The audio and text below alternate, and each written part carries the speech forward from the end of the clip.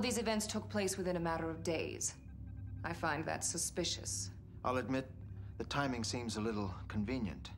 But that doesn't mean there was a master plan. Why did the captain destroy the array? So the Kazon couldn't use it to attack the Ocampa. That's what she told the crew. But I believe she intended to remain in the Delta Quadrant all along.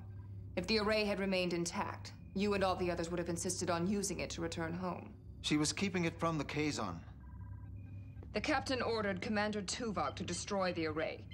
He fired two tri-cobalt devices.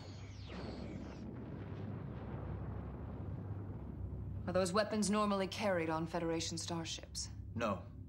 Yet they were part of Voyager's arsenal. Why? I can't explain that. I can. Neither phasers nor torpedoes are capable of creating a tear in subspace. A tri-cobalt device is.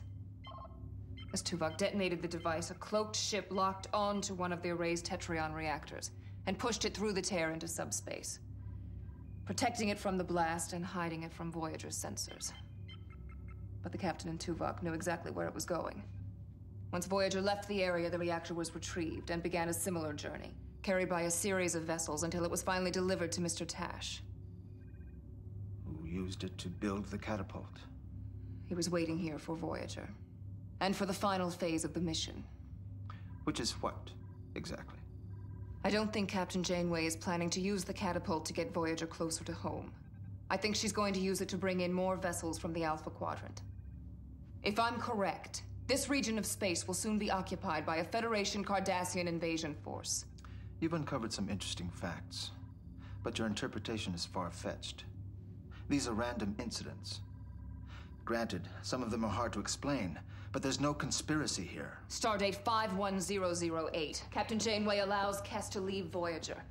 Neelix told me that Kes had suspicions about the caretaker. Was the captain trying to silence her? Stardate 51462, the doctor's program is transmitted to a Starfleet vessel on the outskirts of the Alpha Quadrant. An attempt by the captain to contact Earth, or a secret communique informing Starfleet of her progress. Stardate 50984, Janeway forges an alliance with the Borg. Stardate 51762, a ceasefire with the Hirogen. Stardate 52861, a non-aggression pact with the Terkellian. She called each incident diplomacy. I believe she was trying to establish a tactical infrastructure in the Delta Quadrant. Over the past five years, Captain Janeway has altered course 263 times in the name of exploration.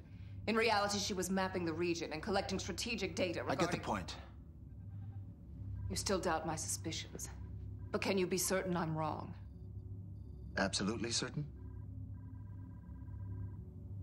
No. Until you are.